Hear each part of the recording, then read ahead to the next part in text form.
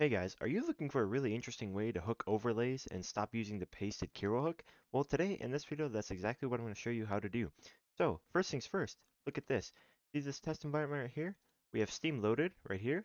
Now if I press home, as you can see, here's our overlay ImGui hook. And in this video, I'm going to show you how to do this and even hook Discord as well. So let's get straight into it. First things first, open up IDA and you're going to want to look for game overlay renderer 64.dll. In my case, it's in this path. That's where it usually will be. And if you have Steam on a different drive, then it will be there. So let's load that up. We're going to press OK. We're going to press no. Then what you're going to want to do for this example, you're going to go to segments, rebase program, 0x0. Wait for that to do its thing. Now we're going to be looking for strings to find that correlate to hooking functions, hooking DirectX. So what we're going to do is search for the keyword present, because that's what we're hooking. As you can see, nothing really here that interests us. We do find a few strings, but this is for DirectX 12, and we're doing DirectX 11. Let's search for vtable. Oh, okay. Hooking for vtable swap chain. Hooking vtable for swap chain. Let's xref that by pressing on that and then pressing X. Then we'll press F5, then press OK, OK.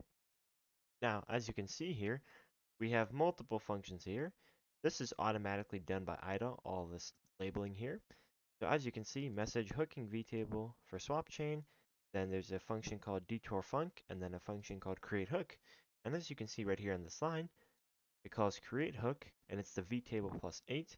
Then it's the hook present function, and then it's the pointer, the original function. So all we're going to have to do is we're basically just going to be hooking Steam's hooked present. So we're going to go here. And then what you can do, if you don't have a signature scan function, then you can just go here, rename, and this will be your offset. But in this case, we're going to be signature scanning. So we're going to take that, IDA style, copy that. Then you're going to put that here. And now we're going to search for the sig. So we'll do present, hook, sig.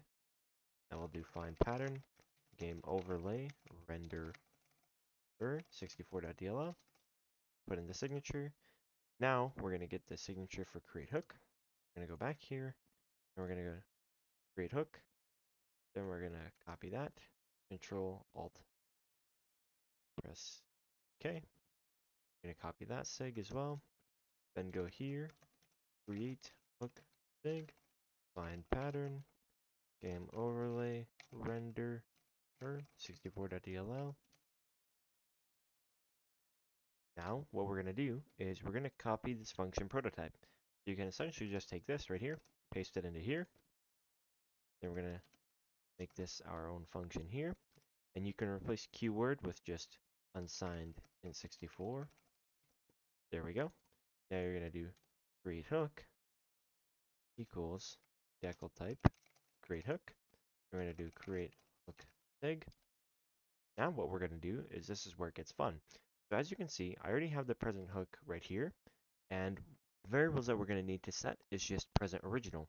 So now we're going to call our create hook function right here. We're going to do create hook, and that's going to be the function address that we're hooking. So it's going to be the present hook, steams one. So we're going to put that in there. The detour address, that's going to be our present hook. So we'll do long long for 64, then do and present hook. And now this is going to be our variable that we're setting. So we're just unsigned for pointer, and then we'll do present original. And then we'll just set this to 1, because if you look in IDA here, we go back here, you can see that it just has 1 for every single one. So we'll just also put 1. Now what we can do is see if this works. So we're going to do Control B. We're going to go back to our project here, D3D test environment. Steam should be loading. Yep, it's loaded. Okay, now we're going to use Process Hacker, inject our DLL, and see if it worked. Sweet. Yeah, it worked. Okay, that's great. So just to quickly recap on how everything just worked there is essentially Steam is currently hooking the present function in DirectX 11, and what we've done is we found Steam's present hook, is just over here, and then what we did is we basically called Steam's create hook function and we hooked their present, which is over right here, and we're redirecting code execution to our present hook right here. So that's all that's going on. So that's pretty simple. And with Discord's hook that we're going to do next, it's going to be even more simpler. So let's jump right into that. Okay, guys. So moving on with hooking Discord, let's get right into it. So with Discord, it's pretty much the same process. You're going to find Discord hook 64.dll. It's going to be somewhere in your app data folder. Uh, for me, it was all the way over here uh, where my Discord is located, and then a few folders down, and here's Discord hook 64.dll. Then what you're going to do is load it in IDA, and we're going to do pretty much the same thing here. We're going to press Shift and then F12. And You'll see all the strings. And here, what I'll do is search for the string present. And as you can see, this is what we're looking for here. Swap chain present. So we're going to double click that. Then press here. Press X to XREF it. Double click here. Press F5. And as you can see, it's literally the exact same thing as Steam, but here they just have it um, configured a little bit differently. But what we're going to do is we're not actually going to call this function. We're going to do a data pointer swap. So you're going to go into the hook right here, which is going to be this one because this is the original function and here's the hook right here. If we go into the hook right here, you can see that it takes three arguments. And if we go to our present hook, it also takes three arguments. So you know it's the right one. So now what we're going to do is go back to IDA and we're going to look for the original function. And so it's returning v7. v7 is equal to this, and it's calling keyword e5090. So since we've already rebased this, I have going to segments rebase program and then putting image base to 0x0. It's going to be e5090. So we're just going to copy that like that. Then we're going to go here, going to just address here, address equals e164t. Then we're going to do get module handle A, Discord hook 64.dll. Then we're going to add that offset 0x.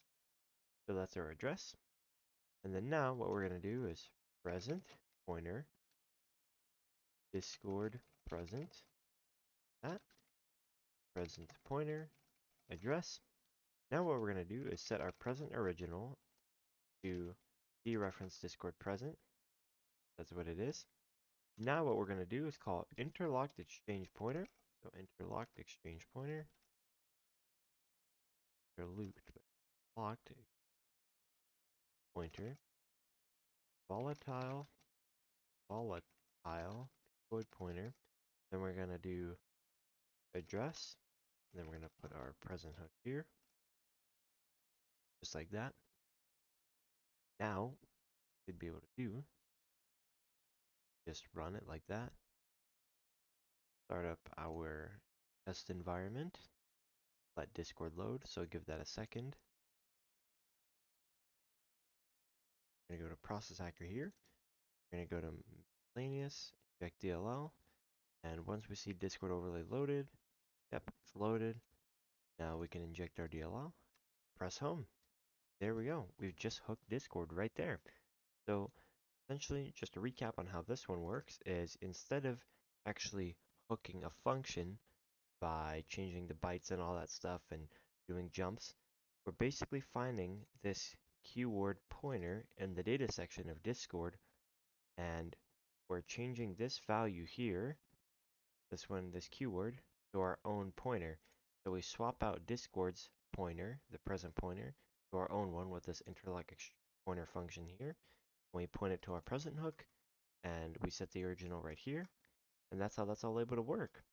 So generally anti-cheats won't be able to really detect this. The only way they can really detect it is just by checking the pointer. If it doesn't point directly to Discord, then they can flag you for that. It's not an instant ban, but they can flag you for that. But it'll bypass most anti-cheats depending on how exactly you do it and if you, you know, return address spoof. Um, all that sort of stuff, which we have a video on, by the way. So with this video, that's pretty much going to conclude everything. What you mainly have to do to find out how to hook present and really anything, this method works in most other modules like Medal TV and all that other stuff. You basically just xref for strings that say present and stuff like that. So you just find something like this. You'd go here, you'd press F5, you'd look for something like this, and then you'd go into the hook function right here, find the original function, swap out the pointer, or you can just call Discord's hook function just like we did for Steam, and you'd go from there. So I hope that concludes this video for you guys. It should have been pretty simple uh, to understand. The concepts here that have been shown aren't, you know, anything crazy. It's nothing new really, but it's just to give you some insight on some cool things you can do. So that's going to be it for today, and we'll see you in the next one.